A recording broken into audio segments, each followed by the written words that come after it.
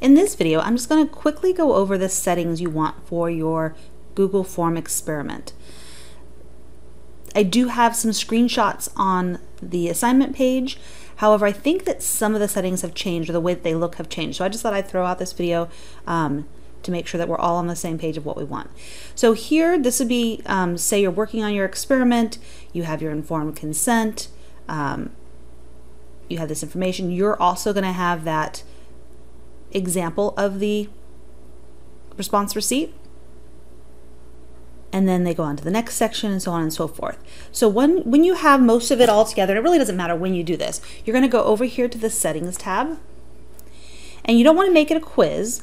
You want to look at the responses and you want to make sure this is clicked. Okay, so you want to collect email addresses. And you want to send responders a, a copy of their response. And that's going to be their response receipt. So you want to make sure that says always. So this should look like this, this should look like that. Then you're going to allow response editing. No, you do not want to allow response editing. You do not want those um, participants to be able to come back and change their answers. We do want to restrict users to Community Coast, Coast Community College District. So we want it to look like this. We want to limit it to one response. This is up to you if you want to show progress bar. You don't want to shuffle your question order. Confirmation message. I strongly suggest having this confirmation message that after they submit it, it will say, um, you could say thank you for participating in our experiment. Please look for, let's say the response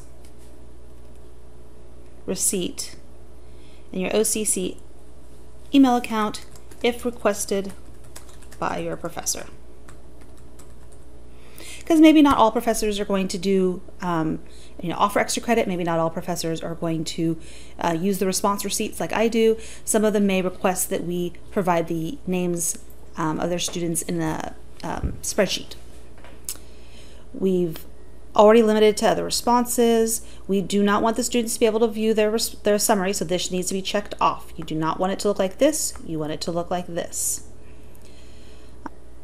We don't want autosave because you don't want um, forms that have not been completed.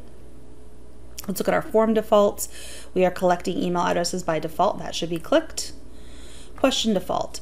Um, this is up to you and depends. Like, so if you have, you may have a question that says, if yes, you know, proceed here. If no, proceed there. If you don't have anything like that and you really do want res responses for all of them, I would check this. So that means that they have to answer each question before they submit the quiz. So That means you're not getting incomplete answers. Um, so I strongly suggest this, but there could be some exceptions to this situation. So that is what your settings should look like. Again, I think Google has changed things a little bit. It looks a little different than um, what had previously been, been shown. So hopefully that helps. Don't forget to add in those examples of response receipts on both the informed consent page and the debriefing page.